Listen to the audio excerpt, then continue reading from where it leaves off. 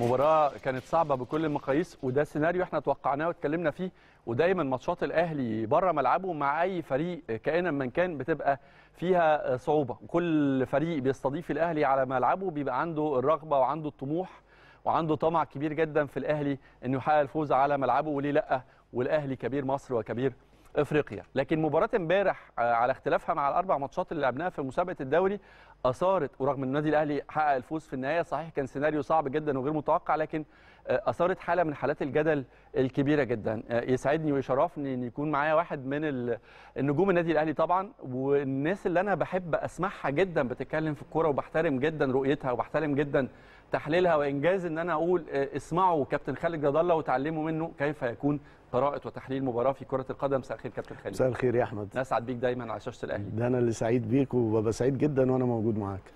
بداية خليني قبل ما أدخل في المحلة أخد ملخص من كابتن خالد جد الله لبداية الأهلي وانطلاقة الأهلي في الموسم ده واختلافها عن الموسم الأخير. لا إيه الفوارق أو الحاجات اللي أنت لمستها بشكل واضح؟ مفيش شك إن البداية قوية جدا. خمس ماتشات كسبناهم. الحمد لله. 15 نقطة. عفوا العلامة الكاملة ودي حاجة طبعا كبداية. أيوة. دايما البدايات بتبقى صعبة. بداية لقاء بداية بطولة. فالحمد لله إحنا خدنا البداية بشيء من التركيز الكبير جدا. الحمد لله قدرنا نكسب خمس ماتشات.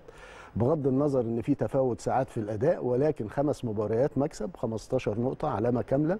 دي بداية قوية مبشرة بإذن الله لموسم كويس للنادي الأهلي. أداء الأهلي مختلف عن الموسم أداء سيبك من النتائج والأرقام. الأداء بالنسبة لرؤية كابتن خالد جد الله مختلف عن مختلف. الاهلي ال season الأخير؟ مختلف بشكل أقدر أقول بنسبة 60% مختلف ولسه مع ال matches اللي جاية الاختلاف هيبان كتير في اختلاف طرق اللعب في ال rotation اللي بيعمله مستر موسيماني ما بين اللعيبة.